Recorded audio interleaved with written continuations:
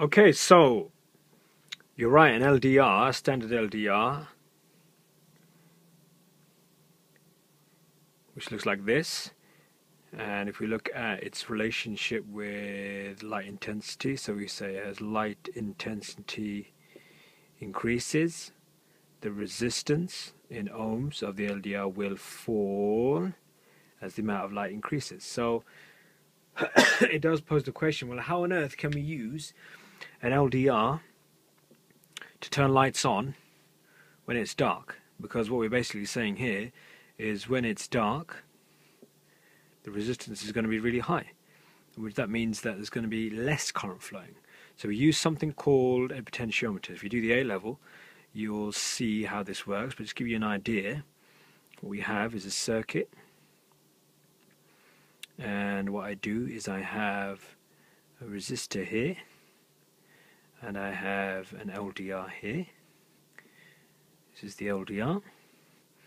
I then have a bulb here and this all connects together to a battery supply for example which could be around about 12 volts now what happens is when it's dark the LDR here has high resistance let's just say it has 1 mega ohm worth of resistance this resistor here let's just say it's fixed at 100 ohms when it's dark so in the dark situation, you've got loads and loads of resistance here, which means current that's flowing from, let's just change these to positive here and negative here. Current that flows from the positive side to the negative side. When current gets to this junction here, because this is so high in resistance, most of the current we want to flow down here, which means the light will be on in the dark. And this is the basic setup in every single street lamp in the UK and other countries as well. You have some sort of light dependent resistor, and they have this kind of setup, which means when it's dark, the LDR will have high resistance, which will allow current to flow or be diverted down this path which will turn the bulb on. Now, when it's light, however, so we just get rid of these and that and say this is in the light. Now if you look here, as light intensity increases, we'd expect the resistance to be really low.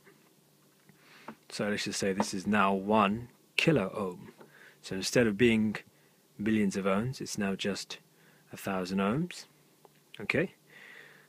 When current flows, because we've got fairly low resistance here and fairly low resistance here, you kind of get the current to to split and more will flow down the LDR than it would down the bulb. So for example, if we had something like 10 amps here, which is uh, slightly unrealistic, but let's just use this as an example. If we had 10 amps here at this point, checked it with an ammeter, I'd have going down here, I'd have maybe something like 9 amps.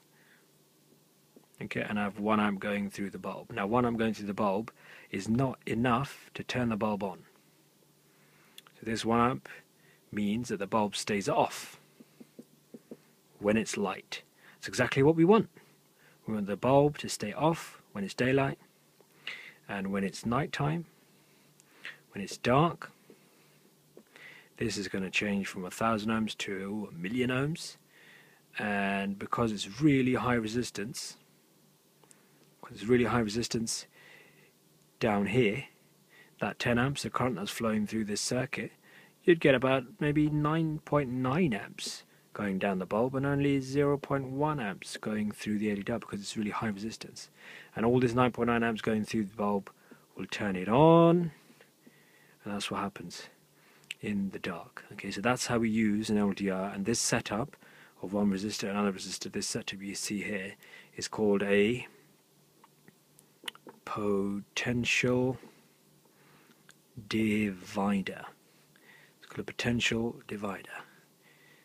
Okay, uh, we don't really need to know this particular setup until we're in A level, but this gives you an idea because you're right. Your initial question was, how is it? How could we use an LDR to turn a light on because when it's dark, resistance is going to be high. So if you used, if you were thinking of this kind of circuit where you've got an LDR in series with a bulb, if we had this set up, you're absolutely right. It'd be useless because it means the bulb will be on when it's light. When it's light, the resistance will be low, current could flow through the bulb. And when it was dark, resistance would be really high, which means no current would flow through the bulb. So this setup here, a serial setup here will be useless. Okay, you have to use the potential divider setup. And this is kind of the same if we were using a thermistor. So we could change the LDR for a thermistor. Uh, if you remember what a thermistor does, as the heat increases, the resistance of the thermistor decreases. Okay, so I could put a thermistor in here and it would act in the same way to turn appliances on when the resistance of the thermistor is really high. Okay, hope this answers your questions. Any more emails, please let me know. Thanks very much. Bye.